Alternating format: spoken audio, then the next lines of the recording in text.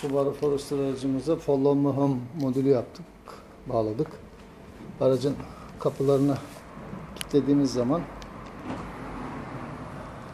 istediğimiz süreye kadar farlarımızı açık tutuyor ve bize yol gösteriyor. Bu araçta 35 saniyeye ayarladık.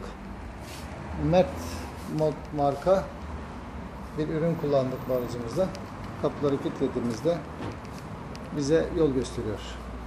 35 saniye. Follow Me Home uygulaması yaptık. Bu tür ürünü de siz müşteri alıp geliyorsunuz bize. Ee, biz bunun montaj uygulamasını yapıyoruz. Bu ürünler satış bizde.